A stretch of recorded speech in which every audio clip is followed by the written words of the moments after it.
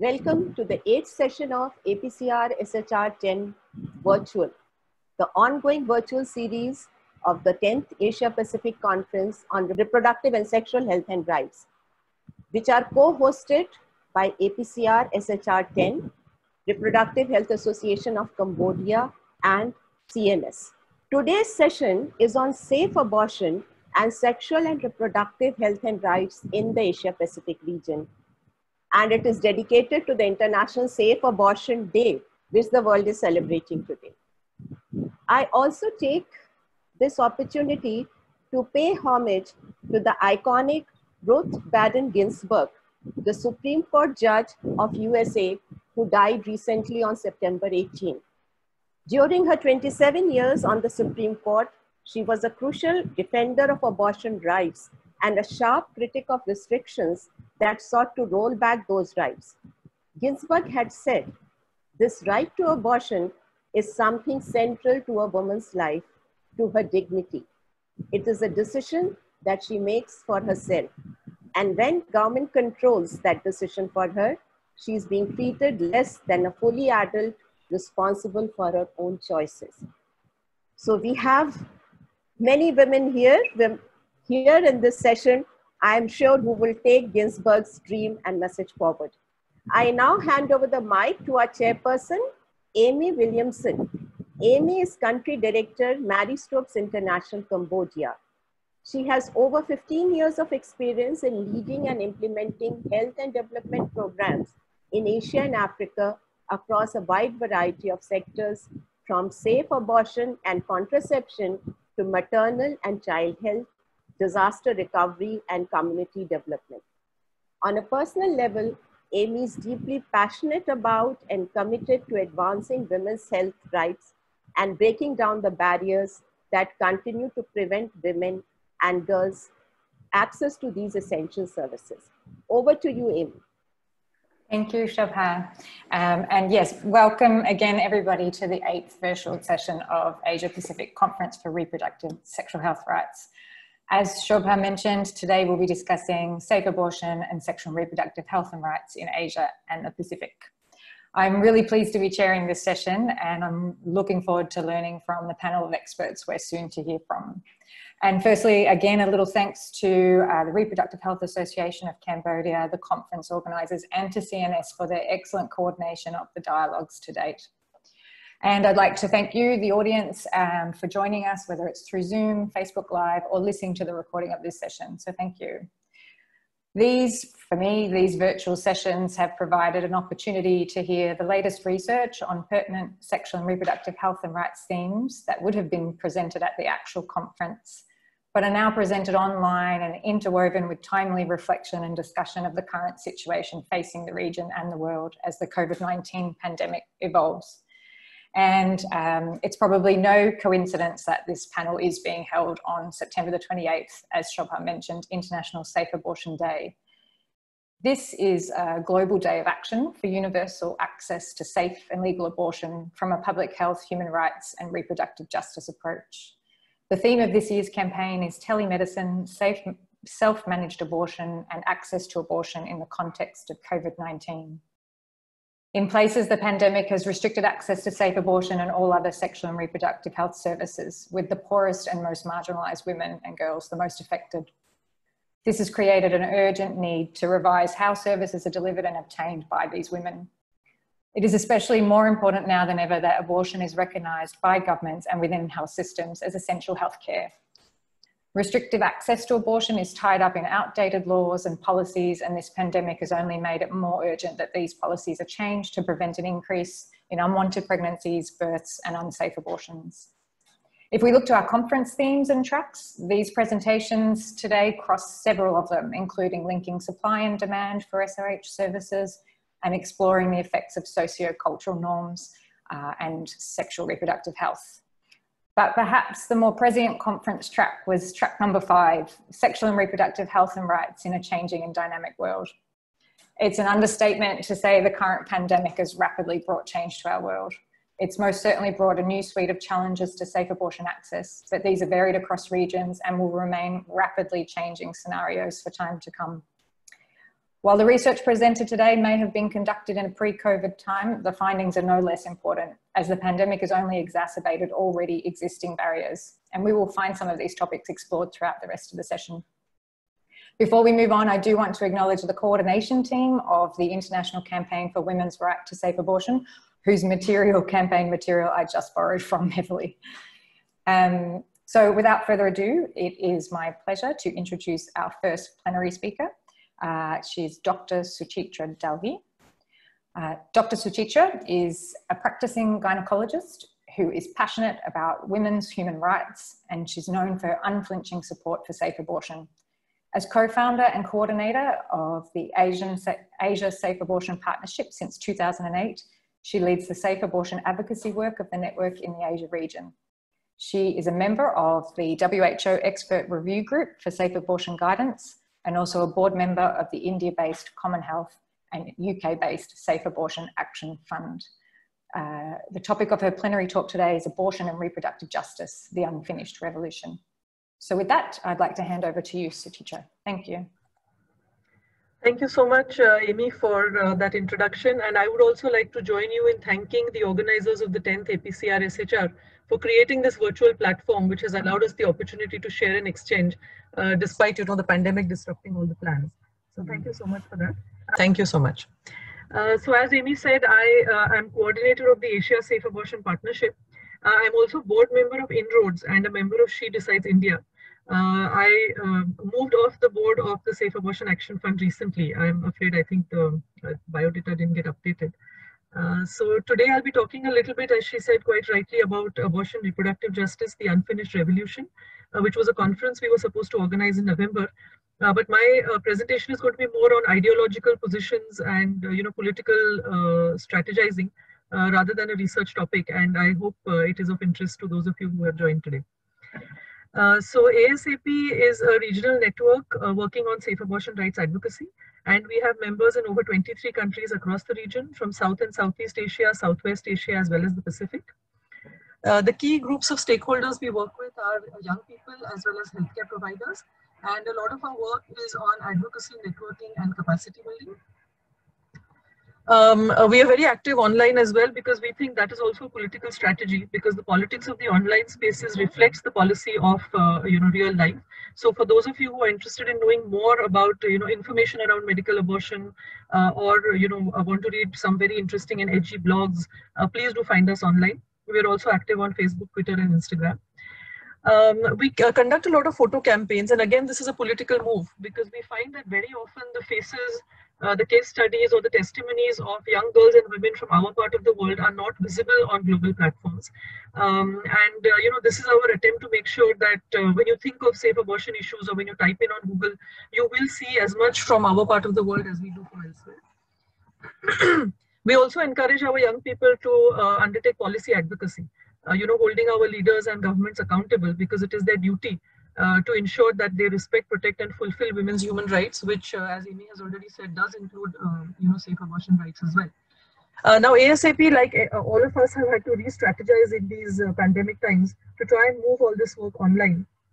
And one of the ways we thought of, you know, continuing our networking and advocacy was to connect with our members, partners, and allies working across the region, as well as working in different constituencies which faced very specific challenges for safe abortion access during the pandemic. And uh, these are all available on our website as uh, podcasts, videos, as well as blogs. Uh, so just to say that, you know, uh, there is a whole range of conversations which don't really make it to um, mainstream global discourses, even amongst us as civil society. Uh, for example, Bhutan as a country, you know, it got locked in uh, although they had didn't have a lockdown, but they got locked in because India had a lockdown, and so they had difficulty accessing medical abortion pills, or uh, you know the difficult challenges that are faced by um, the sex workers community or people from the queer community, uh, what is being called the shadow pandemic, uh, issues around domestic violence. So these and many more conversations are available, and this was um, we found the best strategy to use online platforms to continue to speak out for the issues that matter. And while we were building our ASAP movement, we have also been um, uh, involved in cross-movement solidarity. And one of the movements we are engaging with is INROADS, which is the International Network for the Reduction of Abortion, Discrimination and Stigma. And we are also involved with She Decides, uh, which, as you know, was set up as a counter to the global gag rule. And um, uh, do take a look at their websites and you know be engaged with the work that they are doing if that is of interest to you. One of the things I wanted to share today um, is something that ASAP has been developing, which we call the Safe Abortion Goals. Now, abortion advocacy, as we know, is a uniquely challenging uh, field given the lack of incidence data, the constant politicization of abortion access, and the numerous non-legal barriers to safe abortion access. And it's very often difficult to identify realistic priorities for advocacy, given that many of us, if not most of us, have limitations of human resources, uh, limitations of time, as well as funding. So we've developed a kind of a checklist, and we are hoping that this is something that can be used by the movement as a whole uh, similar to the MDG and the SDG framework of indicators, uh, countries were graded across six categories. Law, public health, social justice, access to information, provider behavior, and media. Uh, the checklist is designed to support the safe abortion rights movement to be able to measure the current access to safe abortion, use the benchmarks to establish specific targets, and to assess and evaluate progress and successes. And I would like to acknowledge the team that has been working, uh, you know, all of us have been working together on this and we are still refining and fine tuning, uh, you know, what is going to emerge. And I would like to thank Alison, um, Janice and Nandini for this. But just in time for today's presentation, we managed to, uh, you know, prepare a draft which we could share with all of you uh, because we're very excited about it and we really hope that many more people will, uh, you know, use the idea. So this is a safe abortion goal or an SAG fact sheet for Sri Lanka as a sample. we will be sharing testimonies which are more or less representative of the country's situation. The recommendations will be drawn from the checklists as well as the uh, scoring uh, based on those six categories. And we will also be providing a visual. So this is something we thought is very important. For example, we have uh, youth-led country advocacy networks in eight countries. Uh, so it may be more useful for a group like that to prioritize, say, for example, working with provider behavior to sensitize them and ensure that they uh, interpret the existing law to the fullest extent rather than you know spending energies on changing a law which is currently showing in the red zone uh, to something more um, uh, useful for the community. So uh, we will be refining this and we're hoping to be able to share a more final version soon but we wanted to use the opportunity uh, of this day to be able to share it with everyone and uh, we would look forward to your feedback on this now, the reason why all of us are continuing to work on safe abortion rights is because unsafe abortion related deaths are still very high. Very high in our part of the world, uh, also in sub-Saharan Africa. And if we see an overlap of that map with this one, uh, with the distribution of health service providers, we can see that there is a critical shortage in the same countries which have a high number of unsafe abortion deaths. Now, we know that unsafe abortion is caused by many problems uh, beyond just uh, healthcare service provision. But this is you know one of the important justifications we have for trying to articulate um, uh, the, the, rationale for uh, self-managed abortions.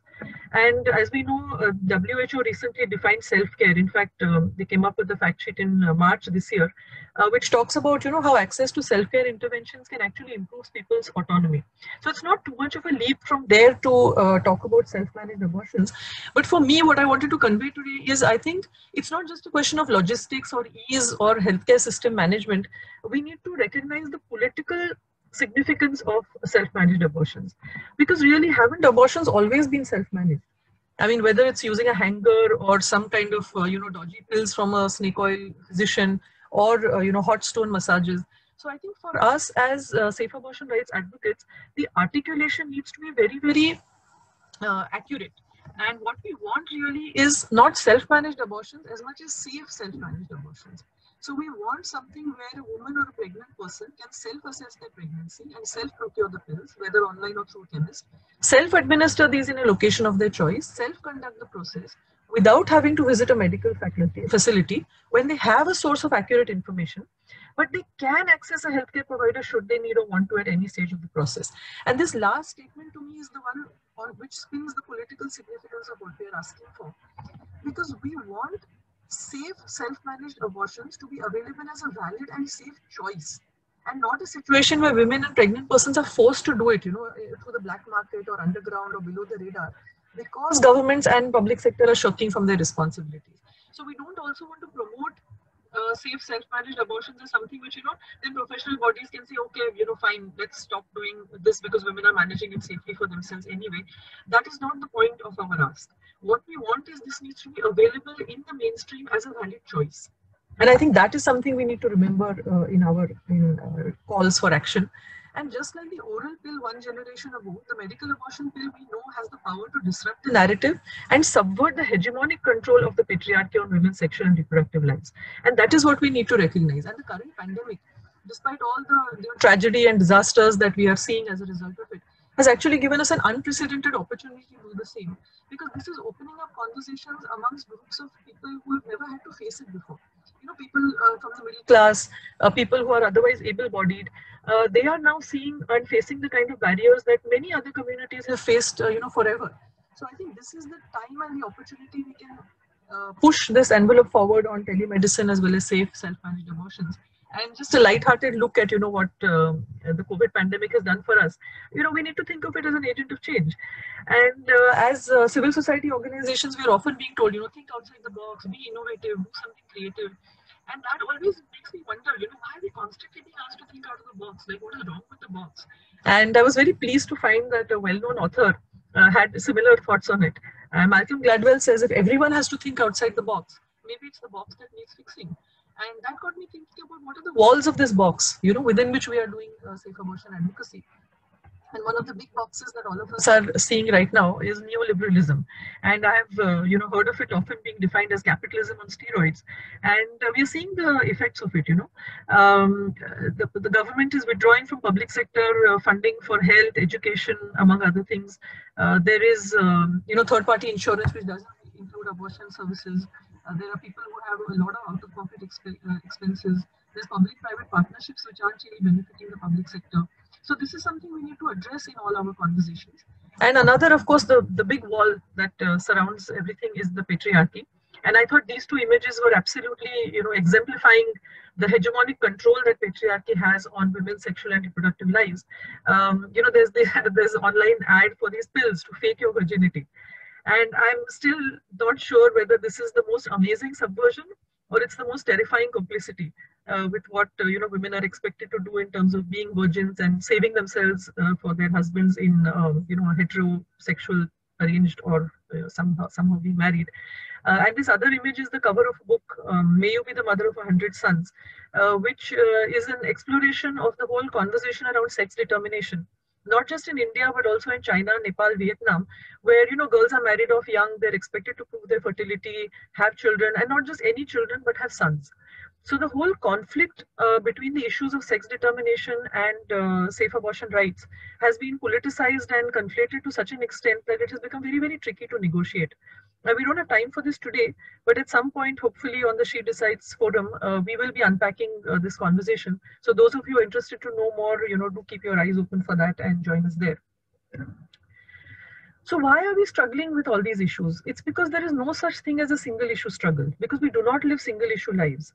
Uh, you know, as soon as we are born, uh, on our body is written the script of the politics that has been playing out for thousands of years. And which is why all the conversations we have in the SRH field, it's not just safe abortion, it's whether it's about safe motherhood, it's about contraceptive access, it's about adolescent sexuality education. We always need to talk of the intersections uh, we need to always use the uh, conversations around neoliberalism and patriarchy. We need to talk about public health, social justice, gender, post-gender world, sexual and reproductive labor. I mean, I've been to so many meetings where, you know, people are convinced, of course, that sex work is work, but then somehow surrogacy is exploitation. So, you know, how do we um, have those conversations, uh, build common ground between them? The glorification of motherhood, conversations around ableism, because we talk of selective abortions when it comes to sex, but we're comfortable with selective abortions when it comes to, you know, uh, the disabilities. Uh, conversations around racism, classism, role of big donors, big pharma. Uh, and unfortunately, all these conversations have to be had in a space where there is shrinking spaces for civil society engagement. So, um, as I mentioned earlier, ASAP is uh, planning to uh, host the Abortion Reproductive Justice Conference. This is the fourth in the series. Uh, the term reproductive justice was coined by Loretta Ross, and it is based on the theory of intersectionality, which states that people have different life experiences and opportunities based on how all their identity categories interact with each other. You know, their race, class, gender, and sexuality. And uh, reproductive justice attempts to move women's reproductive rights past the legal and political debate to incorporate these other framings, which I mentioned the economic, the social, the health factors. So, this conference was initiated in Canada uh, at the University of Prince Edward Island, and we will be bringing it to Asia uh, because we wanted to bring voices from Asia into the global conversation and also provide an opportunity for a focus on issues which are very region specific, uh, such as sex selection, child marriages, migration, among others. Two minutes left. Yes, thank you. So this conference, uh, you know, was supposed to have been held in November this year, but of course the pandemic has changed uh, all our plans. Uh, and as of now, we are planning to hold it in the first quarter of 2022, which is not next year, but the year after that. So I know it's a long way away to ask you to save the date. But those of you who are interested, do uh, keep in mind, and we are hoping to be able to see all of you over there. Uh, because we want to create a world where it is unacceptable for a person to die because they were forced to seek an unsafe abortion. And I want to end with this quote from Arundhati Roy, which I think is absolutely perfect at uh, this point in time, uh, who says that historically pandemics have forced humans to break with the past and imagine their world anew. This one is no different. It is a portal, a gateway between one world and the next. And I think it is up to us to see how we are able to redefine the new normal or the post COVID world for ourselves. Thank you so much. Thank you so much, Suchitra. My gosh, just so many uh, wonderful ideas in that presentation, just chocked into all, all into that, that 15 minutes. Um, and also some great resources and uh, tools for uh, partners to make sure they're more strategic in their action on the ground. So incredible. Um, hopefully we'll have be able to explore a lot of this in the Q&A towards the end of the session. Thanks so much. Thank you. So now, uh, moving on, it's my pleasure to introduce plenary speaker number two. Uh, this um, is Sivananthi Thanenthiran. uh, Siva. She is Executive Director of the Asian Pacific Resource and Research Centre for Women, or ARROW, uh, which is a regional partnership organisation working across 15 priority countries in the Asia Pacific. Siva's different career choices to date have included teaching, writing, commercial publishing, communications, and working at the UN, and have given her opportunities to explore uh, many work disciplines and to form her ideals of working in partnership and respecting diversity. She's now the lead conceptualizer of ARROW's Reclaiming and Redefining Rights, which monitored the progress of SRHR across five regions of the Global South. She's also the lead author of the Asia Pacific Report, she writes and advocates extensively on sexual and reproductive rights. And the topic for Siva's plenary talk today is right to safe abortion, putting women at the center of the discourse and practice. Thank you. Over to you. Thank you, Amy, and thank you, Suchitra, for that great presentation. I'd also like to thank uh, the APCR SHR steering committee members uh, for actually carrying through and uh, in this new normal, uh, putting all of this information sharing and holding the conference so that uh, we as advocates can continue to like discuss and gather because clearly what the pandemic has shown us that it's a time for us to actually share information and knowledge across borders and strategize across borders and you know collaborate for action uh, because you know the times just called for it.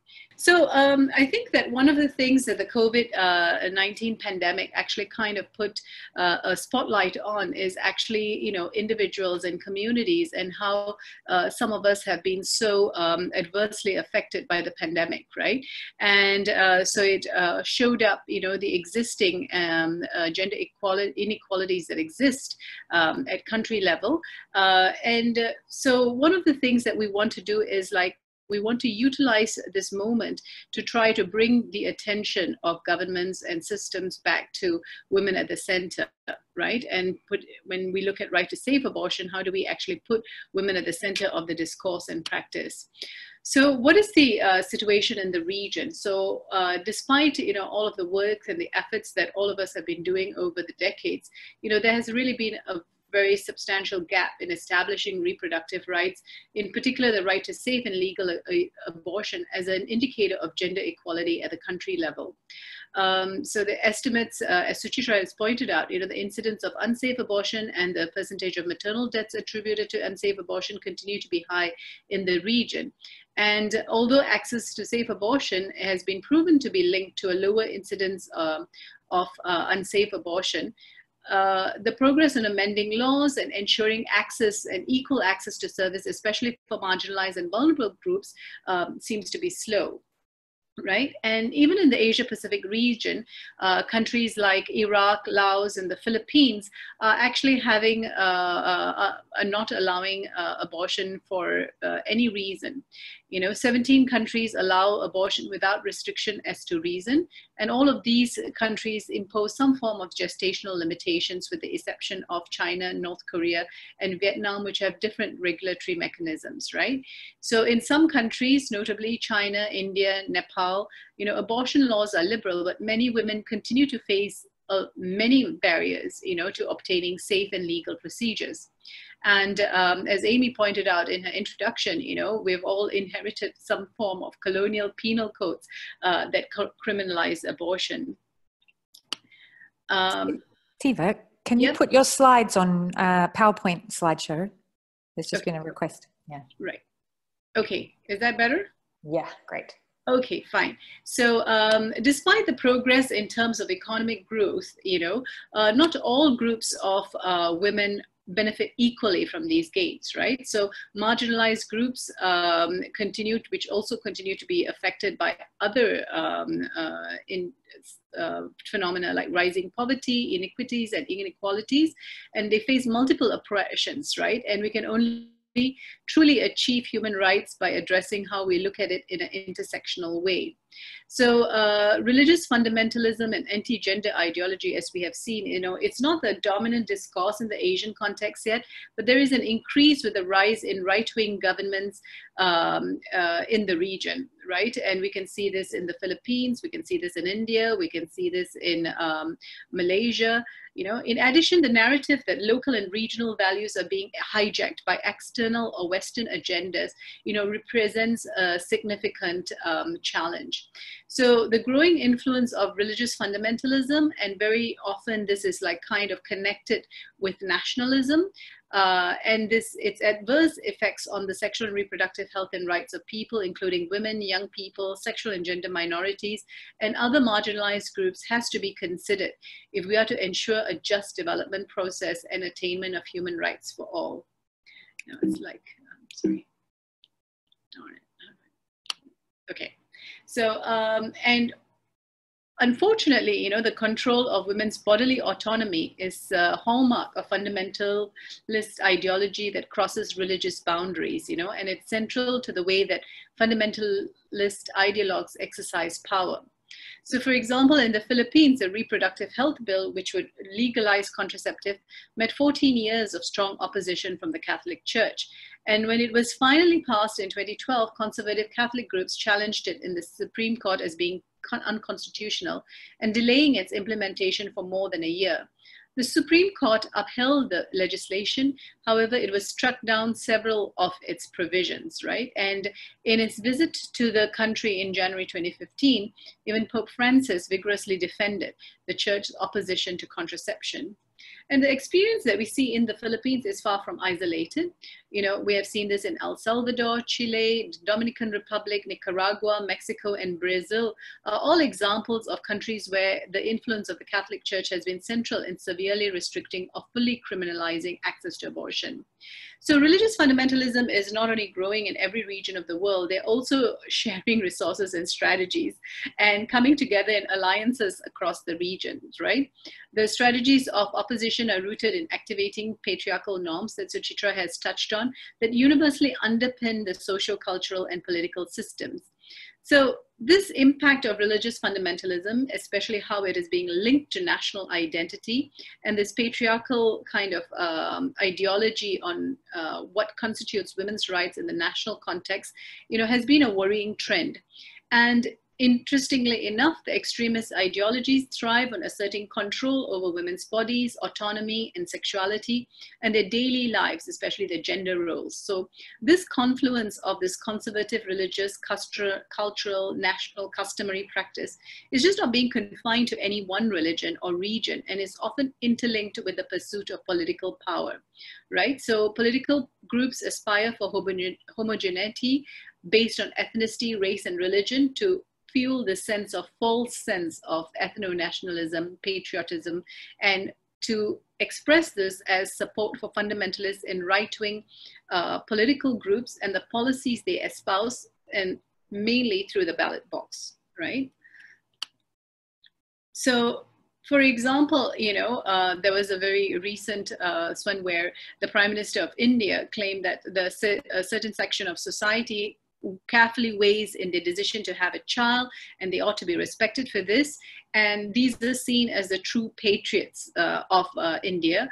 On the other hand, you know, these parents with large families are people that shun their responsibilities to state, responsibilities to state and society. So, although they've not been uh, have, uh, not been explicitly named, but these groups that do not fit in uh, with this is uh, the two well-defined, you know, marginalized communities in the country, which is basically the Muslim and the Dalit uh, populations, right?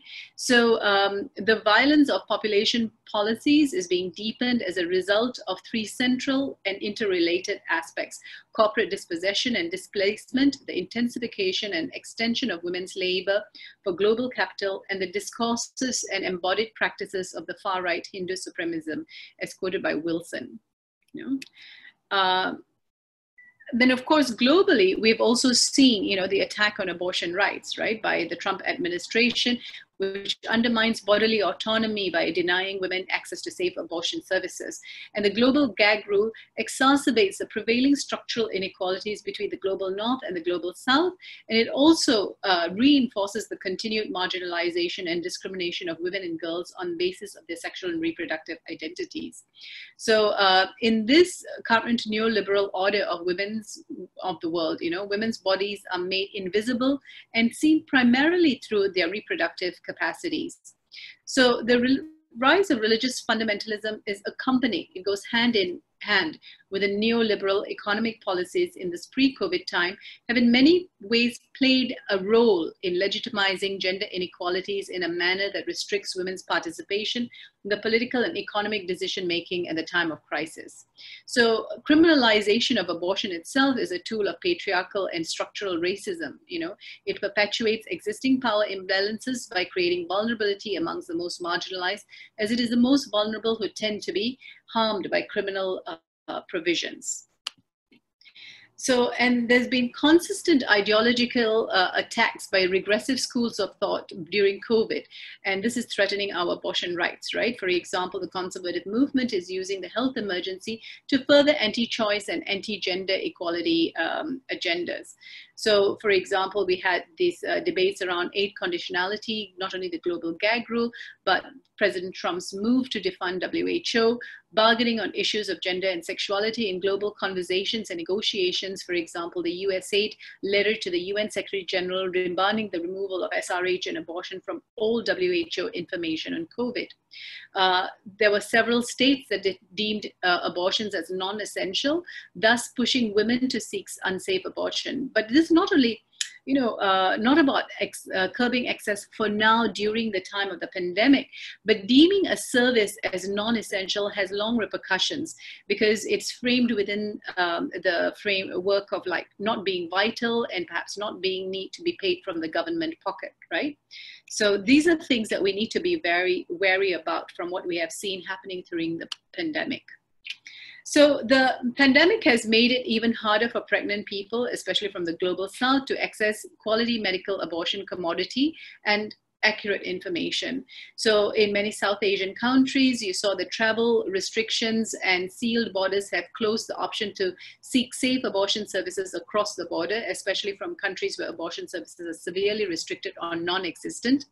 Um, according to a recent report by Guttmacher, this reduced access during COVID-19 of um, uh, unmet need for contraception will result in an additional 49 million women with an unmet need for contraceptives and an additional 15 million unintended pregnancies over the course of a year.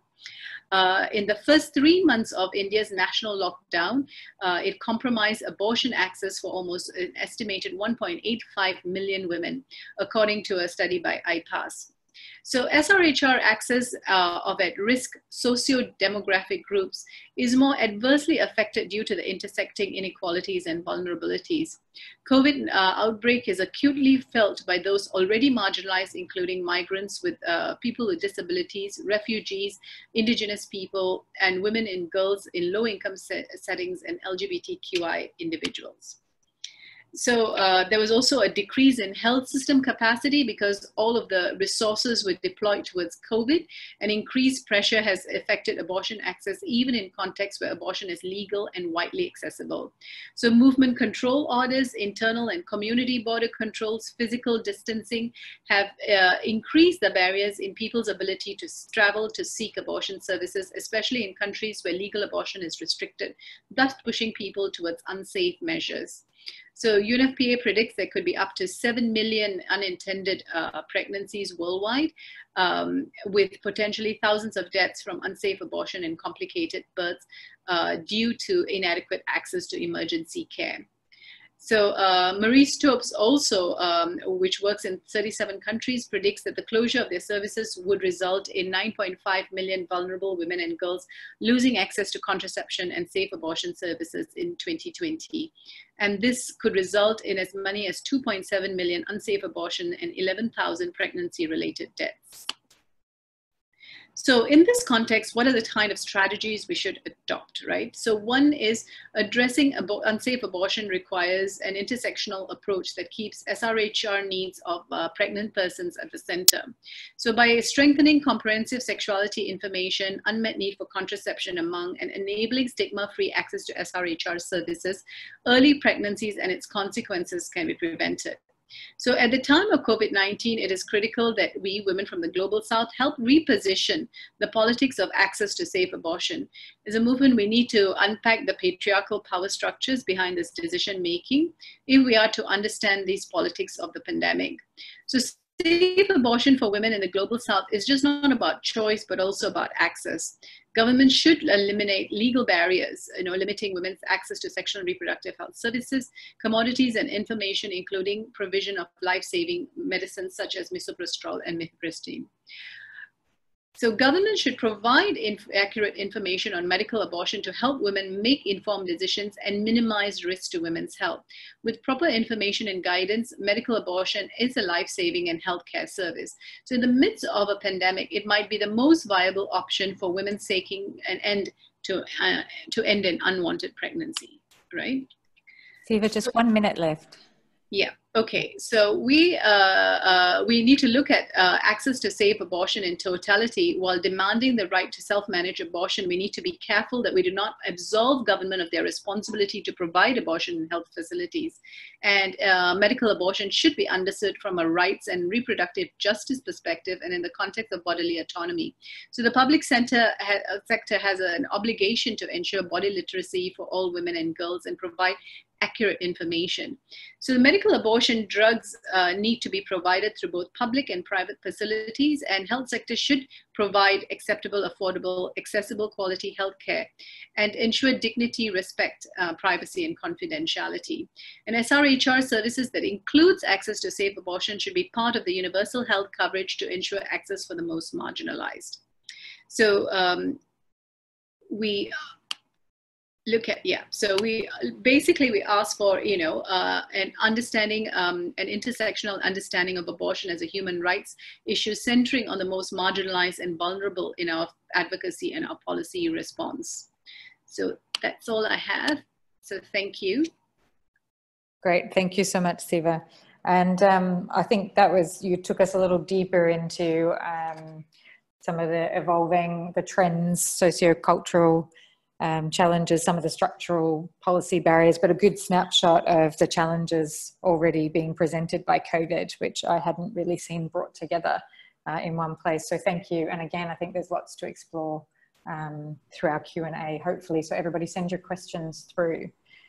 Um, now I will move on to um, announce our first abstract presentation. Uh, this is from Katherine Gambir. Unfortunately, she couldn't join us to present live, so her presentation's been recorded. Um, Katherine is research advisor at Women's Refugee Commission, WRC, uh, and she advises WRC in research, monitoring and evaluation efforts across program areas. She implements and evaluates programs and research projects involving crisis and conflict affected individuals to inform programming and advocacy Katherine also leads research trainings for WRC staff and global partners, and she's co-principal investigator on a multi-country study investigating the drivers of child, early and forced marriage, and has conducted research on adolescent sexual and reproductive health and family planning in Sierra Leone and Zambia. She's also provided technical support on girl-centered programs designed for organizations serving Indigenous girls in Latin America, Mozambique, and the United States. She's developed automated surveillance systems and mHealth apps, evaluated global health programs, and facilitated trainings on community-based behavior change approaches. And the title of Katherine's abstract presentation is self-administered medical abortion as effective as provider-administered medical abortion? A systematic review and meta-analysis. Thank you so much.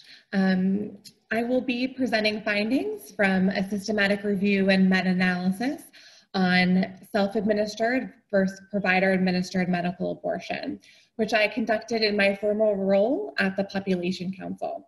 I'm presenting on behalf of my co-authors, Caron Kim, Kelly Necastro, Thoai Ngo, and Bela Ganatra. Medical abortion has improved access to safe abortion where women have access to information and appropriate care. Self-administration of medical abortion has been proposed as a strategy to reduce burden on the health system and to provide convenience for women. In self-administered medical abortion, drugs are administered by the woman herself without clinical supervision.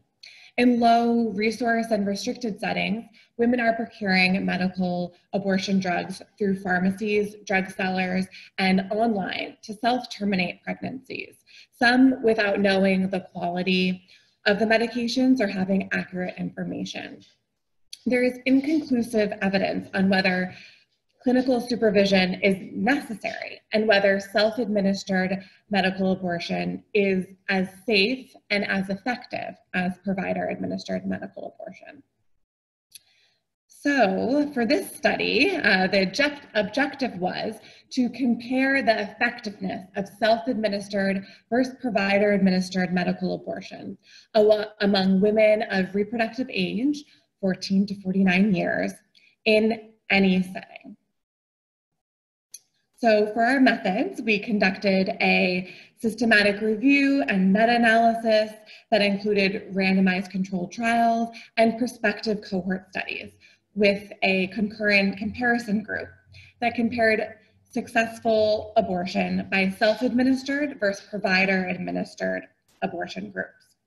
We searched a number of databases as indicated on the slide from inception to July 2019 two independent reviewers um, independently extracted the data and meta-analyses were performed using RevMan 5.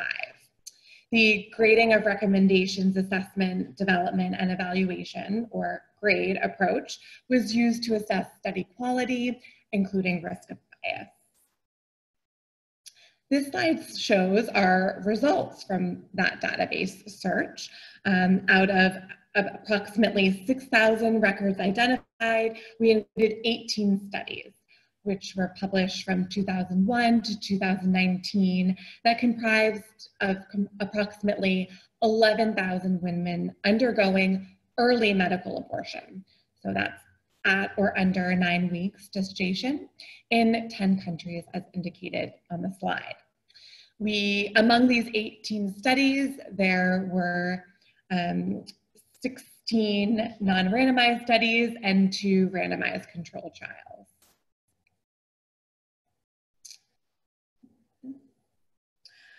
Uh, our, our primary measure of effectiveness was successful abortion. As indicated in the forest plot on the slide, the results of the meta-analysis of the 16 non-randomized studies that were included show that there is little to no difference in successful medical abortion between self-administered and provider-administered groups. The finding is also consistent when we conducted a pooled meta-analysis for both the 16 non-randomized studies and two RCTs. The second measure of effectiveness was ongoing pregnancy. As indicated in the forest plot on this slide, the meta-analysis showed that ongoing pregnancy also did not differ significantly between the two groups for the 11 non-randomized study that, studies that uh, reported on this outcome. This finding is also consistent with the RCTs. So our, our findings regarding safety. While not statistically significant, uh, safety outcomes, including complications requiring surgical intervention, which is shown on the slide, favored provider administer, administration. Uh, we also uh, assessed acceptability outcomes. So self-administration is highly acceptable with the vast majority of women, approximately 85%, opting to self-administer again if they had a future abor abortion, compared to about 50% of women who were in the provider administrated uh, group. And this forest, forest plot on this slide shows the pooled meta-analysis for two RCTs and 11 non-randomized studies that reported on whether women in each group were satisfied or highly satisfied with their medical abortion method. Again, you can see that medical abortion method uh, was highly acceptable among both groups. So in conclusion, women can effectively and safely induce their own med early medical abortions through self-administration, and therefore may not require full supervision of a provider uh, during any stage of the drug regimen. Uh, results from this review have several policy and research implications. Policymakers at global and national levels should consider amending medical abortion guidelines to offer women the choice to self-administer early medical abortion procedures with or without clinical guidance, thereby reducing the number and cost of clinic visits for women and alleviating the burden on overburdened healthcare systems. This is especially important in the context of COVID-19, where health systems, including healthcare staff, globally are strained and access to clinic-based care is restricted.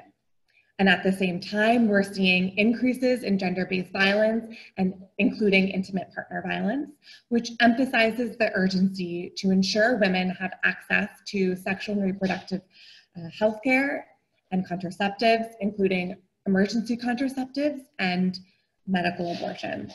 Policymakers should expand healthcare provider training on monitoring, supervision, and referral for medical abortion. In terms of research implications, future research studies should rigorously investigate the effectiveness and safety of self-administered medical abortion in the absence of healthcare provider supervision through the entirety of the medical abortion protocol and at later gestational ages. Finally, future research studies should also understand how to best inform and support women, particularly marginalized women and girls, including in humanitarian settings, who choose to self-administer, including when to seek clinical care.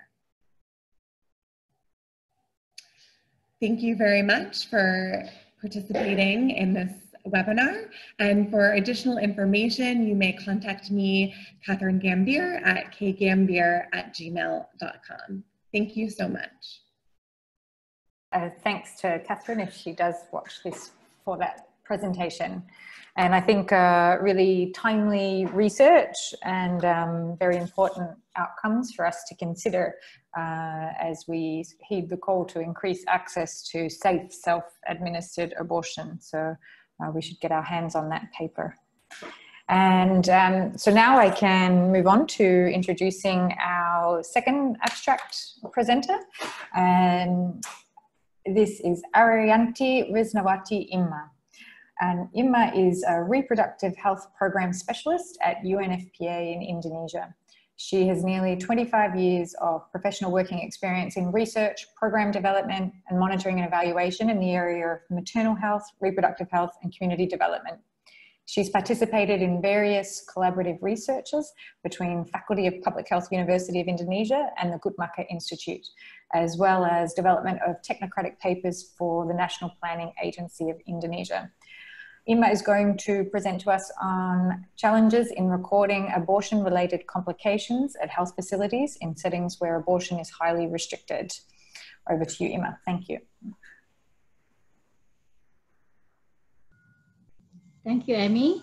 Okay, good afternoon, everyone. Uh, thank you for the opportunity. Um, so uh, this is the study that I did uh, prior to joining UNFPA from uh, my previous work uh, in my PhD thesis and also uh, when I joined research with the University of Indonesia colleagues. So as you can see in here, this is some background about abortion status in Indonesia abortion is widely restricted. For a long time, it's only allowed for medical indication to save the life of the women. Uh, in 2009, there are other provisions for abortion, including severe congenital defect and rape cases as stated in the health law. Nonetheless, we know that unwanted pregnancy is occurring and government family planning program itself only targeted for married couple as stated in the population law. Uh, we also have a high unmet need for family planning. In the past 10 years, it, it remains 11%, 4% uh, for spacing and 7% for limiting. And uh, there are very limited study uh, estimating incidence abortion in Indonesia. The, the last one we had is from 2000, estimating 2 million cases of abortion, including spontaneous uh, abortion, and the rate is 37 per 1,000 women aged 15 to 49 years. Next slide, please. So these are the objective of the study uh, to understand the challenges in recording and reporting of abortion where it is legal for limited grounds by assessing the patterns of abortion morbidities and uh, data completeness and to assess current situation using abortion related data and pattern of morbidities from the National Health Insurance data. Next slide, please. So uh, the study in 2009 collected total number of cases with abortion-related diagnosis uh, within ICD code 000 to 008 from 1st January to 31st December from hospital providing uh, maternity services in Yogyakarta. Additionally, uh, selected variables of the cases were collected from the medical record. The collected variable refers to Ministry of Health individual inpatient obstetric morbidity form that was supposed to be reported by the hospital. Uh, we did descriptive analysis for several indicators commonly used to measure the burden of abortion morbidities. Next slide, please. The second, um, the second analysis is using the National Health Insurance data uh, of 2015 and 2016. Uh, and uh, Indonesia is uh, endorsing national health insurance since 2014. And by 2019, it covers 80% of population. Uh, the data of the National Health Insurance Scheme was sample of nearly 500,000 women aged 15 to 49 years who are member of the National Health Insurance it was selected from a sample of nearly 1.7 million members providing, provided by the BPJS, the organization um, arranging for the JKN. Uh, similarly, we took the ICD code 080 to 008 uh, for diagnosis of abortion and descriptive analysis were applied for this. Continue for the, to the next slide. So some information, next slide.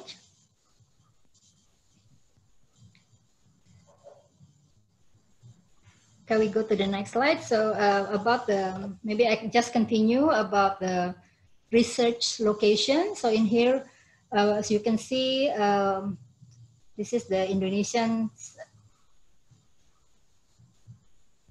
So Yogyakarta, this is about Yogyakarta. Actually, I think there is some problem with the slide. Uh, the study was conducted in uh, Yogyakarta province, it is usually known uh, as Yogya, Yogyakarta. It's a very special uh, province. It's a small province in Indonesia. Um, it is known as student city and house many school and universities. So it is common for many young people to come and stay temporarily in Yogyakarta to continue their education. Yogyakarta has five districts and many cities, as, and as many cities, there are reasonably high number of hospitals. So it uh, provides a description about city characteristic in Indonesia. Continue to the next slide. Um, so Yogyakarta has, is one of the province with the lowest TFR in Indonesia, uh, but there has been an increase in the total fertility rate in the past decade from 1.8 to 2.2, while the TFR uh, in Indonesia actually decreased uh, by 0.2 in the past five years. And in the next slide, we can see um, here that uh, there is, although um, contraceptive use is quite high in Yogyakarta, but there is a high reliance on family planning, a traditional family planning method, uh, from 12% in 2007 to 19% in 2017, which is 12% uh, is withdrawal and 6% is abstinence. And we know that use of traditional method is uh, associated with high incidence of uh, unintended pregnancy. And we can go to the next slide. Uh, here is a picture of, um, although some uh, people are usually against abortion, but herbs and medication for regulation or herbs to smooth are available everywhere and widely available in Yogyakarta. This is just some of the picture. And uh, this uh, shows that uh, this can be used and also can also create some uh, result of complication that require hospitalization. And we can go to the next slide. Um, the study was done before the online um, shops are available. So at that time, there are many ads available in the local newspaper, as well as in flyer pasted on the wall everywhere. So from this study, we learned that the seller uh, sell various medication uh, such as Gynaecosid, uh, which is not for abortion, and recommending doses uh, three times higher than the while unsafe abortion may result in complications that require hospitalization. Can we go to the next slide, please? So uh, we are trying to collect data from 38 hospitals in the province. Uh, however, in reality, we can only get from 23 hospitals. And uh, we can go to the next slide. And yeah, so most of the diagnosis in the medical record refers to uh, physiological process of abortion as described in the slide. So threatened abortion when there is vaginal bleeding, but without uh, cervical dilatation and the pregnancy may continue, and also in a inevitable abortion when pregnancy uh, usually cannot continue, incomplete abortion when there is a partial expulsion of product of conception, and complete abortion. So all the in the in the hospital, usually the diagnosis is referring to these stages of abortion. Next slide, please. And in here we can see uh, the classification of disease of abortion uh, according to WHO. And uh, there is a code, a special code for spontaneous abortion, 003, and for um, medical abortion, which include legal and therapeutic abortion, 004.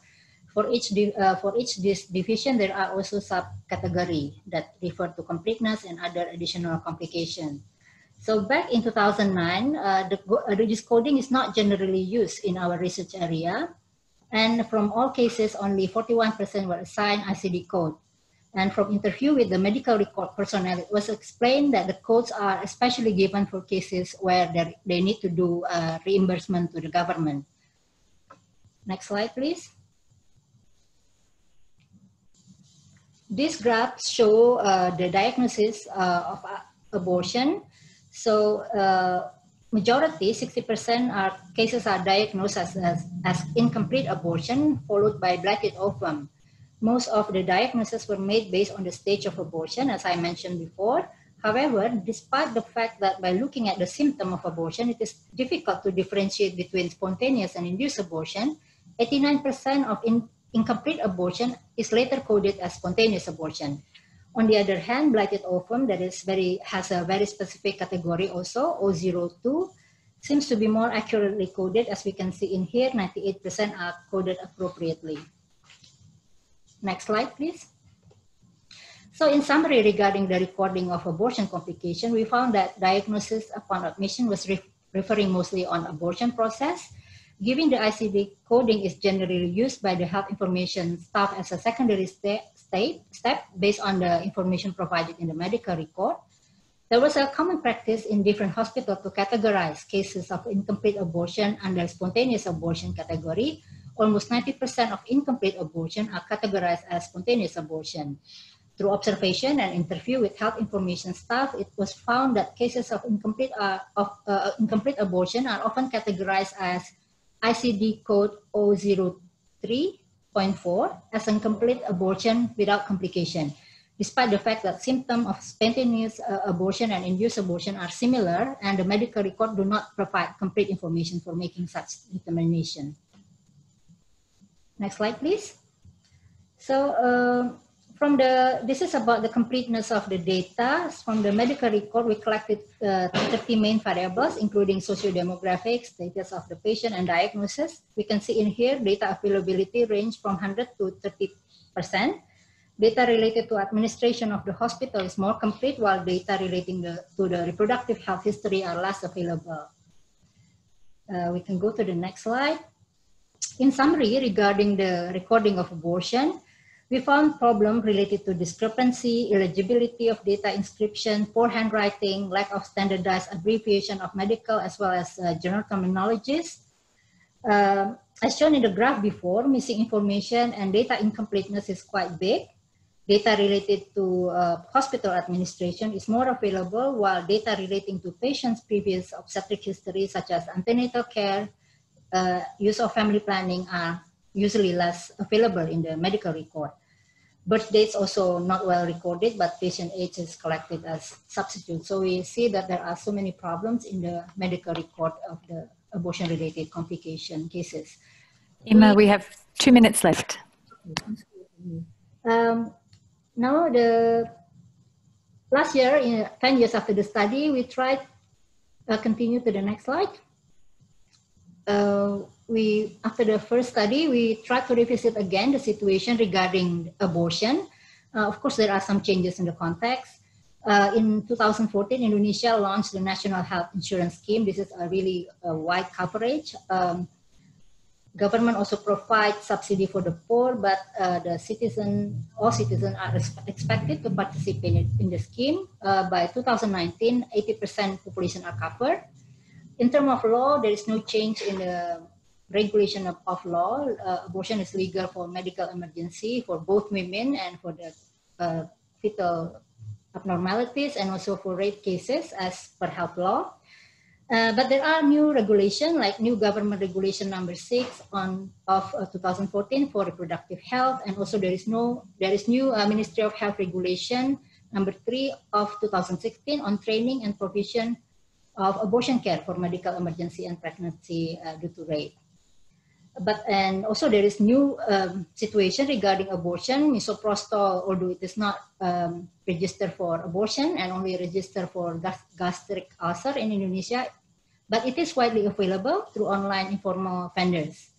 However, the price are high and also there is no mean of verifying um, the seller's legitimacy, inaccuracy, and completeness of information and uh, dosage are quite big. And this is described in a recent study that currently under publication process.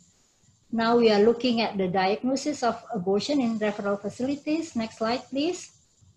Uh, this table, I have two more, uh, two more slides. Next slide, please. So uh, the slide shows that um, in here that distribution of uh, abortion related complication treated in the referral facility in the hospital using the national health insurance data in total, 0.2% women aged 15 to 49 years has used abortion-related treatment through the National Health Insurance. Most of them receive in the health uh, facility, referral health facility in the hospital. Uh, at first, we actually want to compare the data of Yogyakarta, but since the number is very low, so we decided to use the national data. And the next slide is on the treatment of abortion in health facilities. In Before this, I think there is another slide.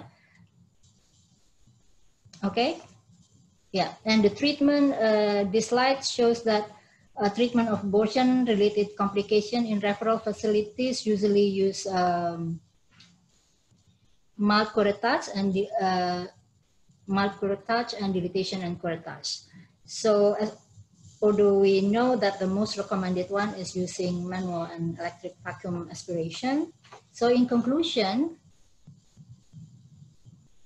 the last slide, almost 90% of incomplete abortion are categorized as spontaneous abortion.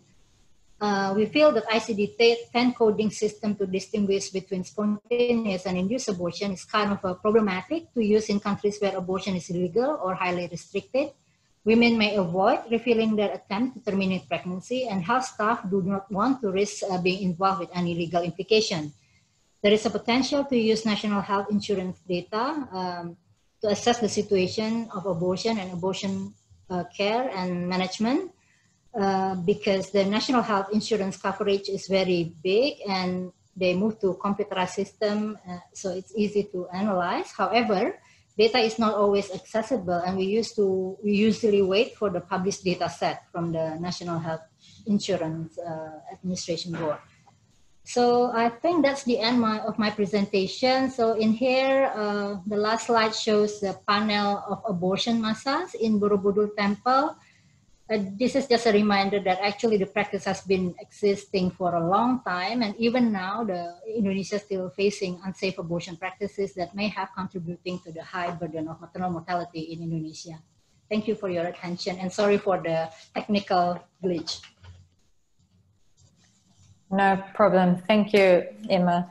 And uh, while there's a, a, lot of information in that presentation, something that jumps out for me is that um, in order to ensure that self-administration of medical abortion is safe, uh, we really need the accurate, high-quality data. And I think this uh, would not be a problem only in unrestricted uh, sorry, restricted environments, but, but also sort of less restrictive environments. So um, great to have your recommendations at the end there um, on how to start addressing that. So thank you. Um, now I will introduce our next panel speaker. Uh, so uh, next person to talk to us is Maria Persson. Uh, Maria is a sexual and reproductive health expert um, at IPAS Bangladesh. Uh, she has a background in development aid and has focused her attention and work on women's access to safe abortion and contraceptives. She's passionate about research and the study to be presented um, was conducted during her time as a research assistant at Karolinska Institutet. Institutet. Um, the title of Maria's abstract presentation is A Qualitative Study on Healthcare Providers' Experiences in providing comprehensive abortion care in the humanitarian setting in Cox's Bazar, Bangladesh. Over to you. Thank you very much, Amy. Okay, um, I'm very happy to be here today on this important day. And as uh, Amy mentioned, uh, I will be presenting findings from a study that I did um, together with colleagues uh, from Karolinska Institutet. So that was with my former engagement with Karolinska Institutet. And uh, this study uh, was funded by RFSU, which is the Swedish Association for Sexuality Education. And it's a qualitative study on healthcare providers' experiences and perception of providing comprehensive abortion care in humanitarian setting. And the setting and focus is Cox's Bazar in Bangladesh. And now I will change the slide. There we go. Um, just before I go into the research, I just want to uh, share some key concepts and also about the abortion law in Bangladesh. But comprehensive abortion care includes safe abortion, post-abortion care, and contraceptive uh, provision and counseling. In Bangladesh, uh, abortion are restricted unless necessary to save the mother's life. However, menstrual regulation, which is a procedure to uh, regulate the menstrual cycle to ensure a non pregnancy is permitted up to week 12 following a woman's last uh, menstrual period. And in this setting, uh, menstrual regulation and the methods for providing menstrual regulation are those recommended by WHO for providing safe abortion care, which is either through medication, and here it's called menstrual reg regulation with medication. It's a combination of uh, mifepristone and misoprostol, uh, or through manual vacuum aspiration, MVA. And in this context, uh, the pregnancy is established before providing um, menstrual regulation. Uh, the definition of menstrual regulation uh, is that you don't have to establish that there is a pregnancy, but in this context, uh, the pregnancy is established before providing care.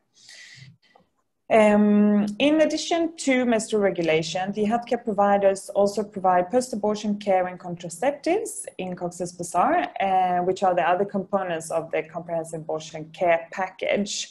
So the overall focus of the research is comprehensive abortion care in humanitarian setting and investigated through healthcare providers' experience of providing MR PAC and contraceptive services in Cox's Bazar. So just a short background, which uh, previous speakers has already touched upon today. Uh, so we know that unsafe abortion contributes to maternal mortality and morbidity globally. And in humanitarian setting, women and girls face an increased risk of unsafe abortion. Um, and this is due to an increased risk of sexual violence and rape and pre-existing patterns of discrimination and violence being aggravated in crisis settings. At the same time, there is limited access to comprehensive abortion care in humanitarian crisis. Um, there is limited research that focuses solely on safe abortion care in humanitarian settings, but if we look at sexual and reproductive health and care, um, in humanitarian setting, we can find some of the uh, following barriers um, to providing comprehensive package that also then includes safe abortion services. And that is a lack of prioritization of safe abortion care in humanitarian setting, lack of training, uh, lack of equipment and supplies, and lack of knowledge on the abortion law, that is human, humanitarian actors providing care not being aware of the legality of, the, uh, of abortion in the setting they are working. And then stigma and negative attitudes uh, affecting service provision. Some of these barriers we will find in non-humanitarian setting as well. But as I said, there's limited research that focuses on safe abortion care and comprehensive abortion care in humanitarian settings. So this study aims to uh, contribute to filling, filling that gap. And uh, Cox's Bazar is a district in uh, Bangladesh. You see the little circle there, it borders to Myanmar. Uh, over 900,000 Rohingya refugees from Myanmar lives in Cox's Bazar. And Cox's Bazar is one of the most densely populated, refugee settlements in the world. And the Rohingya, uh, Rohingyas are a Muslim minority uh, predominantly from the western uh, Rakhine state in Myanmar, which is close to the border of Bangladesh. And the Rohingya population in Myanmar has faced persecution for decades, but there were escalating violence in 2017 that resulted in their uh, they having to flee to uh, Cox's Bazar in Bangladesh, and also resulted then in the ongoing humanitarian crisis. And the UN fact-finding mission to Myanmar found large scales uh, of the incidents of rape and sexual violence by the Myanmar military. And following displacement, Rohingya women and girls have continued to face different forms of sexual and gender-based violence. And the humanitarian response in Cox's Bazar is led by the government of Bangladesh in collaboration with the UNHCR, IOM, and the UN resident coordinator. And if we look at uh, uh, the healthcare uh, services, uh, we in March 2019, there were 142 basic healthcare facilities and also eight hospitals in the refugee camps. And these are managed by the government of uh, Bangladesh or by NGOs. And menstrual regulation, post-abortion care and contraceptive services were provided free of charge at 29 of these facilities. And the aim of the study was to explore healthcare providers' perception and experience of providing comprehensive abortion care in the humanitarian setting in Cox's Bazar, and also to identify some of the barriers and facilitators in service provision. It's a descriptive exploratory study, and uh, the sampling was done purposefully with assistance from IPAS Bangladesh, uh, which is an organization that is involved with the humanitarian response in Cox's Bazar. Uh, we conducted 24 in-depth interviews. Uh, 19 of the interviews were with healthcare providers, 16 of whom are were paramedics and three doctors. And these were conducted face to face at or close to their work in Cox's Bazar inside the refugee camps. And paramedics, they are a mid-level provider and they have been deployed uh, um, in Cox's Bazar for the purpose of providing MR PAC and contraceptives and also are the main providers of MR-PAC and contraceptives. So therefore, the majority of the respondents are paramedics. Doctors uh, were included as they are the ones who provide MR above week 10. So paramedics are uh, able to provide MR up to week 10 following a woman's last menstrual periods, and then doctors are allowed up to week 12.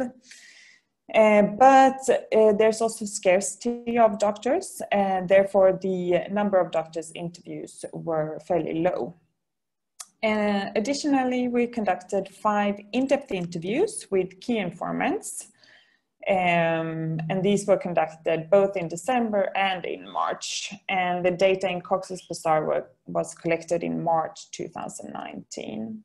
And the data was analyzed using an inductive qualitative content analysis approach. And from the data, uh, four categories emerged. And healthcare providers' experience and perception of providing care in Cox's Bazar are or were influenced by these categories. So the first category is about the uh, collaboration and organization of, of uh, CAC. And it shows that the MR policy uh, provided a favorable legal environment for MR PAC and family planning in Cox's Bazar. MR uh, is also provided throughout of Bangladesh, uh, so the MR policy already being in place provided a favorable environment.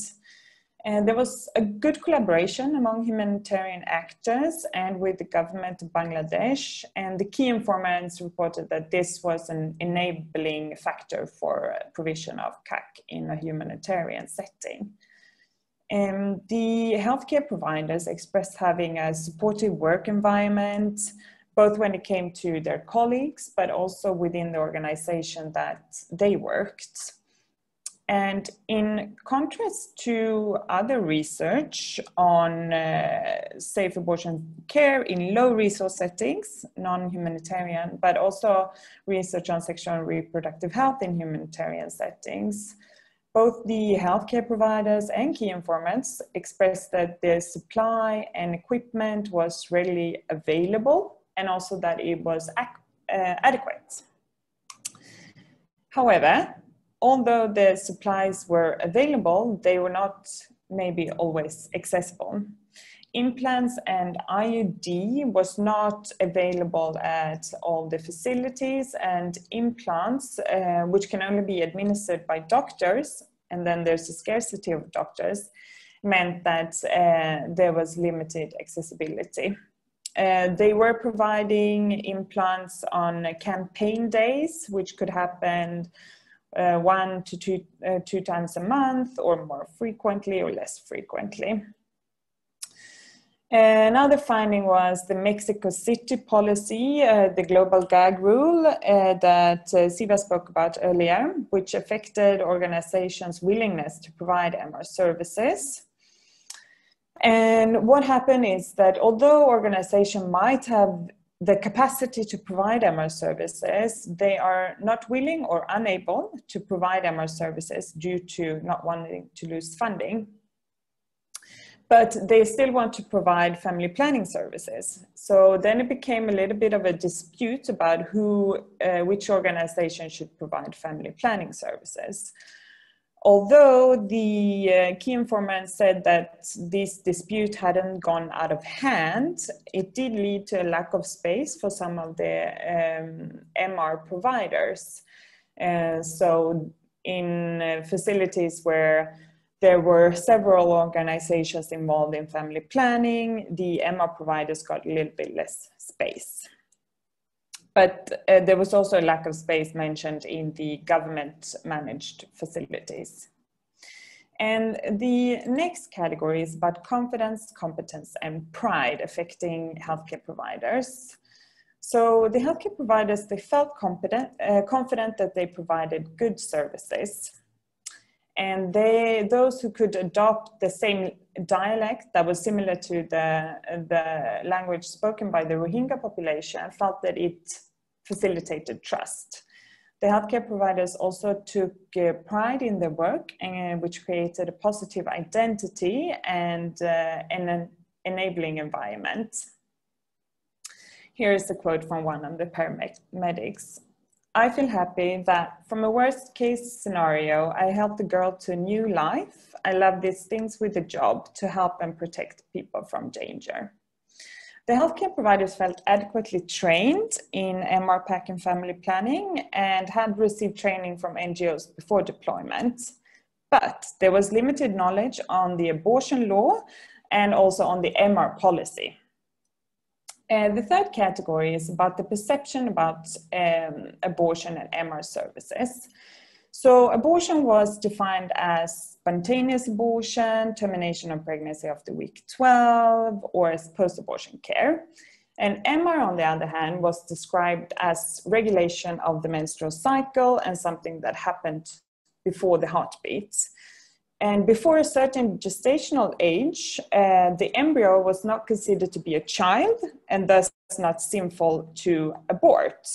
And here's one provider using this in their counseling then. In my experience, I think the baby don't have hands and legs till 10 weeks. At that time, the baby is like an egg yolk and when there is a client who needs MR, we make them understand that it's not a sin, and we tell them this is just like a duck egg or chicken egg, and it's just like liquid yolk inside your body.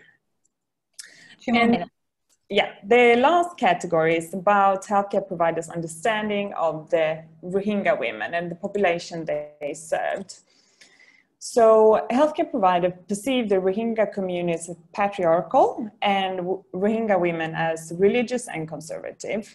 And this at times led uh, the healthcare providers to having condescending attitudes, which also affected healthcare providers' understanding of women's need and desire. So their perception affected their understanding.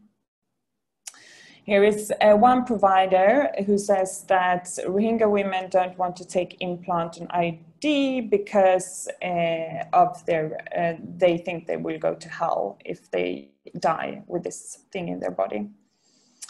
Um, the healthcare provider tried to adjust their counseling and then they used their religion and motherhood to increase the acceptance. So the perception of the Rohingya community made them then adjust their counseling so um, here is one provider who says, we tell them that MR is not a sin because it will save your family, make you and your newborn child happy.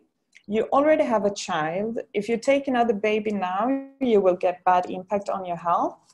You cannot give your children enough care, so take MR and care for your family. So emphasizing uh, motherhood and the importance of of motherhood in their counseling to increase acceptance.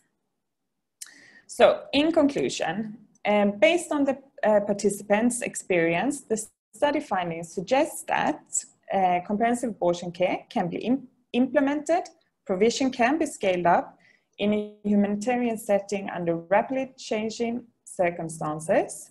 However, access to and availability of quality uh, comprehensive abortion care was limited as shown in the result.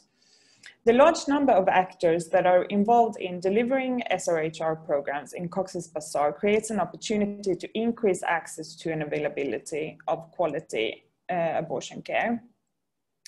Training uh, is needed on the MR policy and the abortion law, also in-service training that includes value clarification to ensure that uh, care is provided uh, non-judgmental and that the care is women-centered.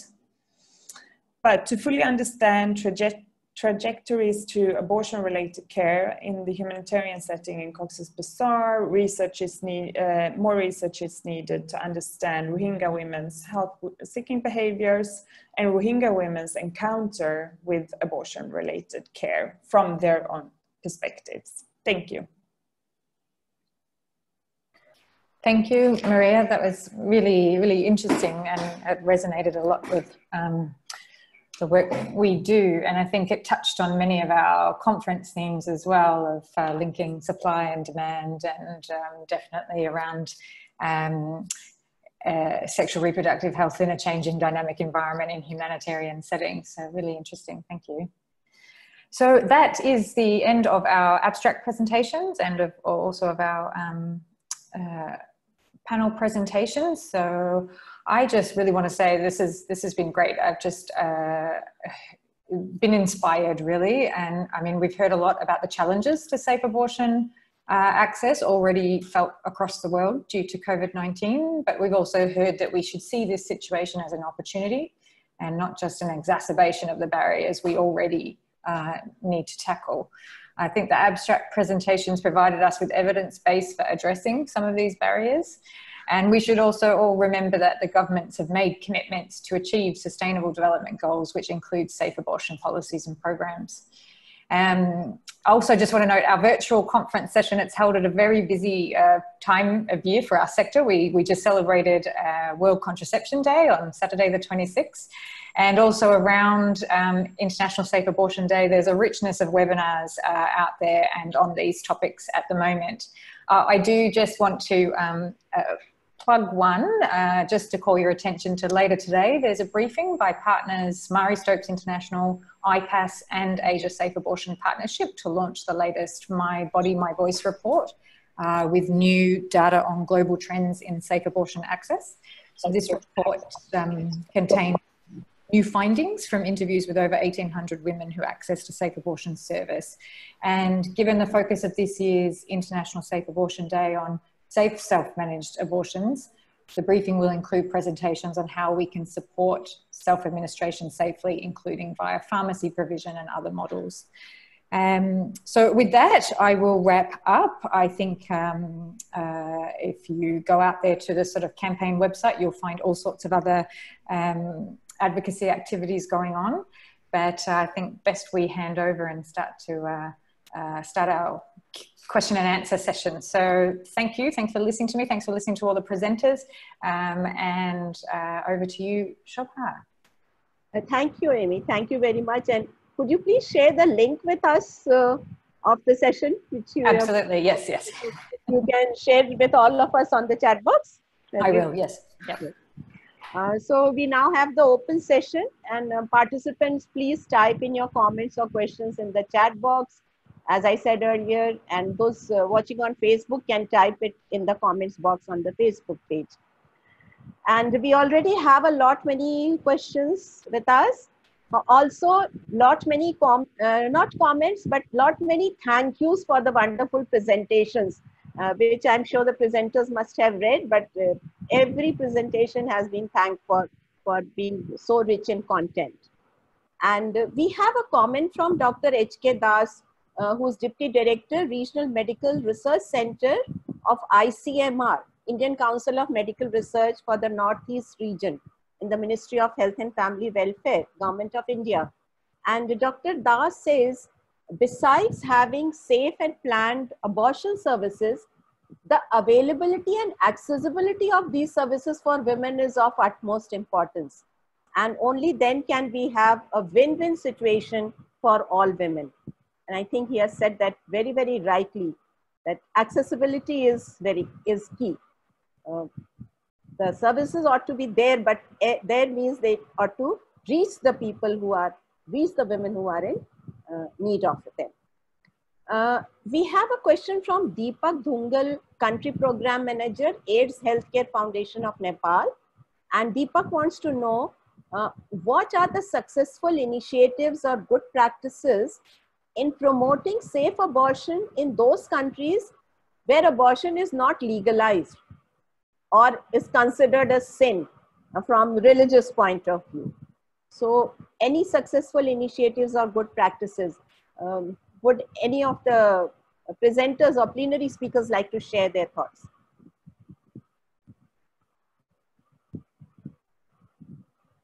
Yes, Suchitra and Siva, would you like to say something? Yeah, hi. Uh, so thank you very much for that um, very relevant question. Uh, I just want to say that the experience, again, you know, where it is considered a sin and it is um, influenced by religious beliefs, uh, I have found uh, in many of the countries we work in that a lot of religious beliefs depend on interpretation. And one of the strategies that I have heard of which works is to find religious leaders who are able to interpret the existing texts or uh, you know beliefs in a more uh, liberal, broad-minded way. Uh, and another strategy which we know has worked for many years now in Latin America is what is called harm reduction, where uh, you know, the doctors uh, give the information about uh, mifepristone, misoprostol, or safe abortion services uh, simply as a right to information. And the women are told uh, that, you know, if there are any complications or problems, they should then come to the health service facility where they are treated, uh, as we discussed, as we heard the sharing from Imma and others, where they are treated as though it's a um, spontaneous abortion, which needs to be taken care of. So, you know, nobody is really complicit in uh, supporting the women, but they are able to bypass this whole religious uh, sin uh, belief. Uh, so those are the two strategies that I'm aware of that have worked in, in many of the places. I don't know whether any of the other speakers would like to share something. Okay, would uh, Siva like to share something? Because... Uh, yeah, so um, I think that um, in the countries that we have worked in, we can definitely see that, um, as Suchitra puts it, the interpretation is really important. Amongst the schools of Islam, I mean, not all of them say uh, abortion is, uh, well, one says abortion is not permissible, but there are like three or four others which allow abortion for different uh, reasons or for different grounds and up to 90 days you know? So uh, in like for example in malaysia that is what is like kind of um, put into um, uh, the religious national official religious fatwa. However, of course, the term limitations pose a difference. Uh, I mean, it's difficult. Uh, but um, the second thing is that sometimes the service provider themselves has a different idea of what the religious interpretation is and then poses more barriers, right? Uh, interestingly enough, on many uh, places like for example we think that indonesia's version of uh, islam is far more liberal to what is being able uh, what is being um, how do I say, uh, uh, interpreted in Malaysia, but yet their uh, understanding of uh, uh, abortion is far more restrictive, you know, uh, in a number of ways. So I think that, um, so one is to make sure that we make them aware of what are the liberal interpretations like, to show them that possibilities of um, what is, you know, what is possible even within the framework of religion. But of course, always understanding that working with religious leaders for us as feminists um, always comes with some sort of caveats because they may be okay with some forms like they can say with a you know abortion within 90 days is fine but lgbtiq is no no. Uh, or uh, you know comprehensive sexuality education or access to services for young people having sex outside the framework of marriage is a no-no right? So we need to understand whose voices we need to elevate within this um, uh, discourse um, i think there's a, a, um, uh, all of the different religions pose different sorts of um, how do I say, uh, barriers. And I think Dr. Shivon has said that in in Buddhism as well, there has become some uh, caveats and wants to know about uh, Buddhist monks, right? Yeah. Um, unfortunately, actually, I think that uh, maybe uh, beyond an era pre-globalization, uh, we often used to think that uh, Buddhists had a much more um, compassionate or humane view. Uh, in the early years, I used to remember that the Buddhist uh, monks uh, in um, near my area, in the country that I lived in, which is of course Malaysia, um, they actually would say that okay, this is like a small sin that you've committed, and then you can like kind of um, how do I say, uh, uh, you can pay penance for it, by giving food or giving doing some form of charity or releasing some birds you know something like that. Uh, i think the gravity of the sin was something that uh, has actually been kind of uh, brought about as debate from the evangelicals in the us and of course catholics uh, because then they said well how can you think this is a very small minor thing? I mean if you you as a religious person needs to value life right? So that's i think that how religious fundamentalists kind of share knowledge and set standards amongst each other on morality you know? So uh, that's something we really need to look at uh, countering. Okay. And uh, i just so, uh, want to, to, say a very warm welcome to dr shivon var who's the founder executive director of reproductive health association of cambodia and also the convener of apcr shr 10 for being with us today and raising a very pertinent question uh, Maria, would you like to add something? yes, thank you. Um, I agree uh, with the, the, the, previous speakers here now, but I also I think it's quite interesting in Bangladesh where we have a restrictive abortion law. So abortion is only permissible when it is to save a woman's life, uh, but to kind of circumvent then the stigma that is around abortion, we have the MR policy. And menstrual regulation has been um, part of the healthcare services since the end of the, the 70s. And this is, I think it's interesting to see how you can uh, work to ensure access uh, to essential health services and work with women's rights, even in uh, settings where abortion is highly stigmatized.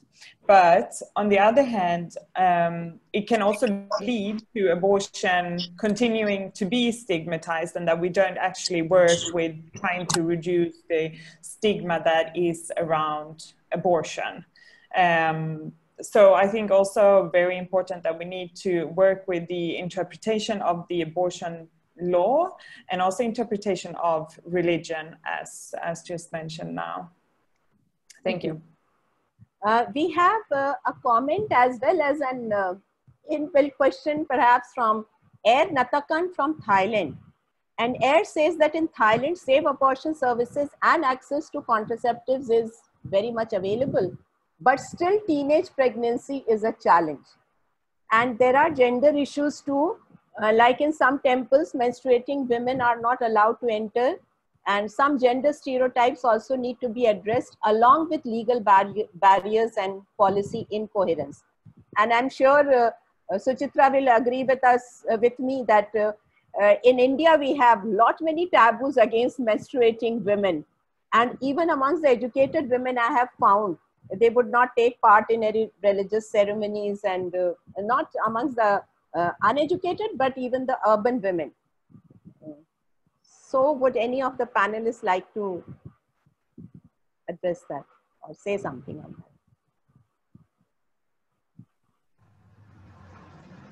Uh, should I say something? Yes, please do. So, yeah, thanks, uh, Shobha. I think, as you said quite rightly, across our region, uh, menstrual stigma and taboos are very much a part of the culture. Uh, we know that just uh, last year, I think Nepal actually finally outlawed the practice of menstruating girls uh, staying outside yes. the home when one of the girls, I think, had a scorpion bite and uh, actually died as a result of that. So we know that these are deeply rooted patriarchal socio-cultural norms and a lot of unlearning and relearning will be needed uh, because I see this as a continuity, you know, the stigma that attaches to menstruation and therefore to sexuality and therefore to abortion. So it's, uh, you know, as I said, it's very difficult to unravel one without really uh, uh, attempting to unpack the other. Um, and these are very real and very difficult um, negotiations to make, uh, particularly in countries where, you know, religious beliefs are still very strong within the community. and I think one, you know, as um, as we all know, when working with religious leaders, you need to also be a little careful of um, ensuring that we are respecting the spiritual um, you know background of that religion while questioning the actual practices which we know ha more have a cultural uh, uh, backing rather than actually you know religious scriptures telling you to do a certain thing. So it's a tricky negotiation but i think that's part of our role as uh, advocates and i think we do need to invest in uh, looking into that. Yeah. Thank you Imma, would you like to add something to that well, I think in Indonesia context, uh, yes. the contraceptive for unmarried is not available. So we do have a lot of um, work to do. And I think um, education is very important. To have a proper education for the adolescents because uh, that is a situation. Although um, many of uh, civil society organizations also working in, in providing um, services.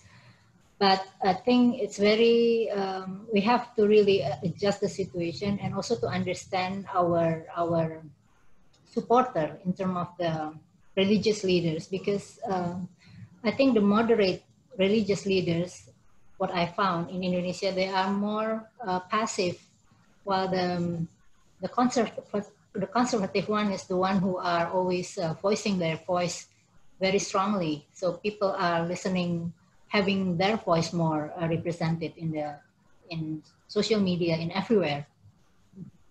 Thank you. Uh, Kalpana Acharya, very senior journalist from Nepal, and she heads uh, Health TV online uh, in uh, Nepal. She says only 41% females in Nepal know about safe abortion law. Uh, even it has been there for 18 years. and there is another question regarding that, that what happens, what is the situation in countries where abortion is legal? Like she says in uh, Nepal, even in India. Uh, what about the situation of unsafe abortions in such countries, even before the pandemic? Forget about how the pandemic has affected it, but uh, despite abortion being legal, uh, are women uh, able to make use of those services? I'm sure all our panelists would like to say something to that. Amy, would you like to uh, say a few words on Can you repeat that? Sorry, I didn't yes, hear. even even in countries where it is legal, abortion is legalized. Uh, what is the situation of unsafe abortions taking place?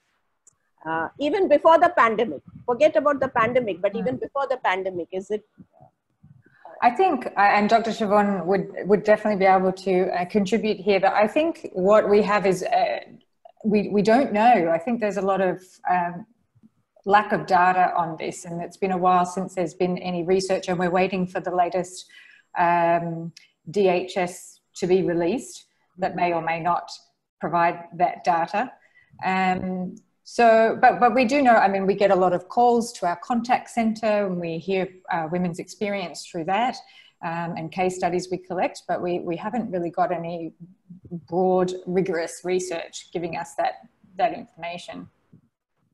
Yeah, and Dr. Siobhan, if you're there. yes, yes, Dr. Siobhan. yes. Dr. Siobhan, would you like to add something to that? I do not know if he's there or he has left. Uh, yes, Siva, would you like to add something to it? Siva, are you there? Oh, I can jump yes. in. yes, yes, please in, do. The mean, in the meantime. Please, no, no, please do. Yeah, yes. I think maybe it was um, Suchitra who uh, spoke about not viewing it as a, as a single issue, but we need um, so we need to work on multiple fronts. We can't just make uh, one policy will not change everything. We need to bring awareness. We need to make things available and accessible. So we need to work on um, multiple fronts, and I think that that is something that's really important. So we. Uh, even though a policy is one step, then we also need awareness and we need information and education. We need accessibility, availability. So I think that is an important thing to and remember that we need to work on multiple multiple fronts. Uh, can I add something? Yes, please. Thanks. Uh, so that's a very pertinent question from Kalpana ji, and I think uh, you know the situation in India and Nepal is in many ways similar. Uh, and I must say that in India, although the abortion law was passed in 1971, mm. We still have a very high number of people uh, who don't know that abortion is legal. So, you know, in Nepal, it's been only 18 years. Uh, we've had it for so many decades. And it's not just women in the community. Sometimes we find even the healthcare workers are not aware.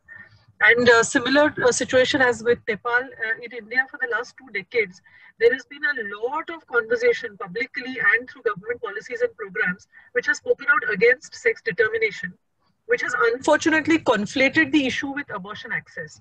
So a lot of the messaging that went out in the community actually doubled the stigma around abortion by uh, talking about the whole sex determination issue, which should have been spoken in the context of gender discrimination, but not attached to abortion. Uh, you know, so I think that really took us backwards uh, in in uh, many ways. And even now, it's difficult to have a conversation around safe abortion rights without it being sort of hijacked by the whole sex selection issue. Um, and in terms of awareness, as you know, as I have said earlier, I think it's the whole stigma around women's sexuality, the silence around it, the shaming of it, the making it sinful, and the glorification of motherhood, uh, it all makes it very, very difficult to openly talk about safe abortion. If you see even our cultural practices, you know, there's so much celebration of pregnancy uh, we have these, uh, you know, when a woman is seven months pregnant, you have all these ceremonies and, and programs, and that too only within the context of marriage. Uh, so this is what something I, I, often say, and some of you may have heard me say that many times before, is that marriage becomes like a watershed moment in a woman's life. You know, before that you can never have sex. After that you must have sex because marital rape is not criminalized. Before that you can't get pregnant. After that you must get pregnant because infertility is also stigmatized. So if you see really the whole, you know, progression of sexual and reproductive health matters across life, we find that it's often women's sexuality or always women's sexuality that gets stigmatized, which makes it very difficult to talk openly about these issues, which are not in line with what is seen as being a good woman, a good wife, a good mother. Uh, not wanting to be a mother uh, is, you know, is, is something very difficult to have conversations around. So I think it's, it's you know, too many issues that one need to be dealt with before one can uh, address this issue. But thank you for that question. It was very interesting. Thanks. Right, rightly so. Uh, we have a question from Prabhavanti from Jakarta, Indonesia. Uh, and of course, she mentions 26 September and 28 September being connected as we had the contraceptive day on um, 26 September and now today Safe Abortion Day. She says our long-term goal, which should be achieved ASAP, must be to ensure that every pregnancy is wanted and no unintended pregnancy should be conceived at all and that can happen only if women and men can access and use options to prevent unintended pregnancies. And she wants to know any, she, she said out of the box uh, measures, but I'm correcting that to any new box insights from our panelists. Taking Suchitra's cue. so let's change the box. Yes, Suchitra. Yeah, can I can I pitch in? So this reminds yes. me, I had a professor many decades ago who used to say that our society is so confused about things that we are able to buy cigarettes, uh, you know, uh, over the counter, but you need a prescription for contraception. Uh, he said it should actually be the other way around. Uh, so I think, um, as you said quite rightly, you know, we need to find ways to prevent unintended pregnancies, but we must recognize that there are some planned pregnancies which could also become unwanted. Uh, so, you know, the conversation of contraception versus abortion is always a little worrying for me because it kind of makes it sound as though if you give contraceptive services to everyone, you will uh, you know, avoid or reduce number of abortions. But contraceptive measures also failed. No method is 100% effective. And as a gynecologist, I can tell you there are journal articles written about women who become pregnant after hysterectomy. You know, you leave the ovaries behind and somehow there's a pregnancy and it embeds in the abdomen. So one must recognize that the force of nature is really towards conception, uh, you know, as a survival instinct, uh, which is what makes it so difficult to manage uh, contraception. I think we need to also look at the gendered perspective of this. Uh, look at how few methods are available for men to use. Uh, whereas most of the methods are for women to use, and in reality, a woman can get pregnant only once a month, whereas a man can make someone pregnant every time he has sex. Uh, so somewhere the gendering, um, you know, and the sort of dynamics of that also need to be addressed. And again, as with all other questions, I think these are very long-term uh, investments that need to be made. Uh, but always to recognize that planned pregnancies could also become unwanted for various reasons. Uh, so the need for safe abortions will always remain, no matter how much we invest in contraception. Okay, thank you. Uh, Siva, would you like to add something, please? Yeah, I think uh, in on top of what Suchitra says, but to also you know move towards having safe sex as the kind of framework. So uh, beyond like getting pregnant and not getting pregnant is also to be free of like uh, diseases um, and uh, you know uh, and ensure uh, sexuality and pleasure and freedom and autonomy are there. Um, I think so. That kind of overall framework, understanding how our needs and desires will evolve through the years, and to have like a, a system, a political system, as well as a health system that is like responsive to people um, expressing ourselves uh, and enjoying our rights within that context is also something that's, uh, uh, you know, I guess it's like a, another box, but but it's a very big box uh, that we are trying to create, right? So I think that these are the things that we are demanding. But uh, I am not sure where governments and policymakers are with like moving beyond in that framework, right? If I'm not mistaken, uh, Shobha, in between there was also a World Vasectomy Day. I'm wondering like why is it that you know uh, more governments don't actually look at uh, vasectomy as an option for uh, men as well. So, you know, this is uh, one of the things that um, we have to consider. Yes, you are very right, Siva. And this has, uh, in fact, every time I keep on asking this question, and every time I think the panelists also say, and from what I read, you know, on the web also, if I look at some website which is uh, maybe related to UK or US, they will, uh, out of the uh, prevention options, they will say vasectomy is the cheapest and the best. But in the in Asia, at least in South Asia and Southeast Asia, if you look at the figures, I think it is it, it is dismally almost zero percent. I would call uh, the vasectomy, and it's always the female who is to undergo everything. So I think these are questions which I keep on asking, and you are right to raise this. And governments, I think there is not much of programming uh, done from the government part also. Because the easiest way out where whereas it's a very difficult uh, of a very difficult medical intervention as far as uh, the surgery is concerned. But you are very right. And suchitra i was reading about some uh, uh male contraceptive injectable male contraceptive called RISUG which is, has been there. Uh, I, was hearing that it will get uh, clearance and will from uh, the Indian uh, uh, as prospect. And I do not know if it has been, ICMR was saying that they have completed the studies. I think the doctor has been working on it for quite some time. Yeah. So uh, we've been hearing about this since I was a medical student. So it's yes, been many yes. decades we've been hearing about this new invention.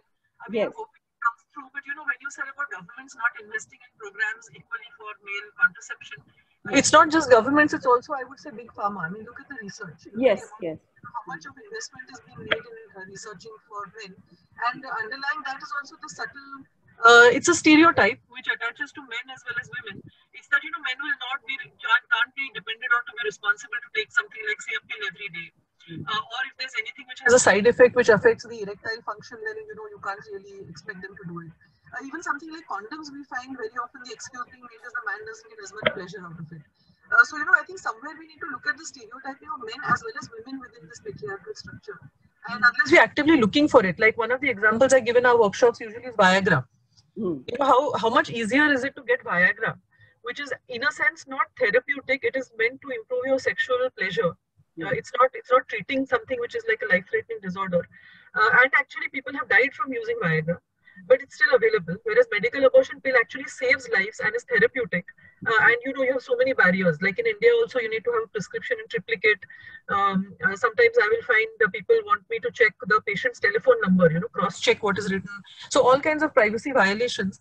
uh, whereas when it, when it is actually therapeutic and we know it saves lives. So, you know, the gendering uh, takes place in every kind of possible system, and we need to be aware of that so that we are then able to uh, work against it or change it. Thank you. We have already overshot the time, uh, but uh, uh, there is just one comment from Paulia, Polly Cabia from Family Welfare Association of Cook Islands. And she says that in Cook Islands, abortion is restricted Hence, we ensure ready access to emergency contraception, especially for girls and women to prevent unintended pregnancies. And Suchitra, you mentioned about uh, emergency contraception just now. And one last question, which we want a take home message from all our panelists today. And the question is from Camille Tijamo. Camille says, what can we do as individuals to ensure women have access to safe abortions? and I would add to that unintended pregnancies.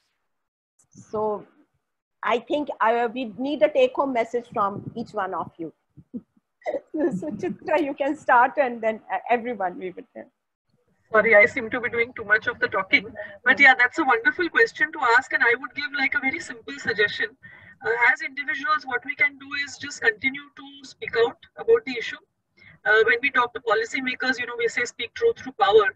But sometimes, honestly, it's as simple as if someone makes a sexist joke on your WhatsApp group, uh, step back and ask them, explain to them why this is not appropriate, because it's all linked. You know, unless you can um, challenge someone's sexism, it's very difficult to then start talking about women's rights and reach a point where you can have a conversation about safe abortion.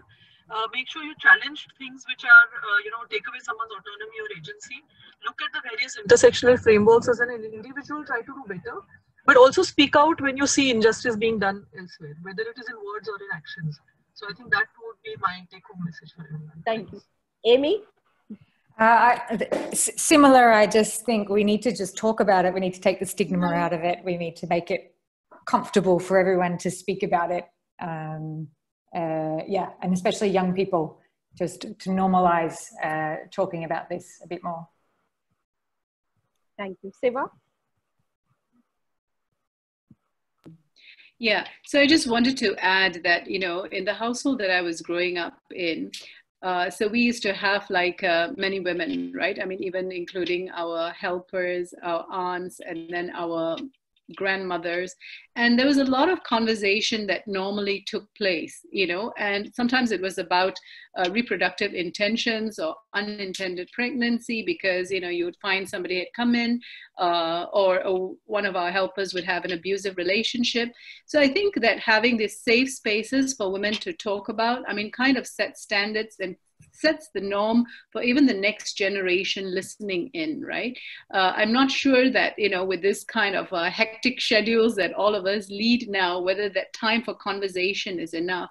But because, uh, you know, all of this uh, biological imperatives that are placed on women, as well as gender roles that are created by this biology, you know, um, I think that if we were actually enabling um, all of us to have these conversations on a regular basis. What does it mean to be in a supportive relationship? What does it mean to be in a supportive house situation? What does it mean to be in a supportive employment environment, you know, that supports this kind of uh, thing? kind of concretely move to putting women at the center of the discourse, you know, so that would be what I'd say. Thank you, very rightly said. Maria? Yes. Thank you. Um, I have to agree with with everyone who was before me here. But I also think that as an individual we can speak up, um, and uh, also I think one thing is to be aware of how our own discourse, like how we speak not only about abortion, but how we speak about women, how do we speak about men, um, are we contributing to the gender stereotypes, um, and also be aware, like who, how does the way that I speak uh, also you know contribute to the overall discourse um, and kind of uh, dare to challenge that a bit i would say thank you uh, Imma Yeah, I think there are already a lot said by other presenters. I think for me, it's very important to bring data because when we talk uh, to policymakers, for example, they really need data. And sometimes the data on abortion or abortion complication is very difficult to get, but there are available data outside there. And then how to, to interpret them in a understanding manner so people can, can really uh, understand how is the situation. Uh, for example, if there are so many uh, abortion complication, it may an indication of uh, unsafe abortion practices around there, and something must be done for that. So I think that's uh, from my side. I think we have to bring more data to the discussion. Yes, thank you. Uh, bring more data and also conversation. As many of you have said, I think conversation and dialogue in our even day-to-day conversations, I think we have to bring these things up to break the stereotypes.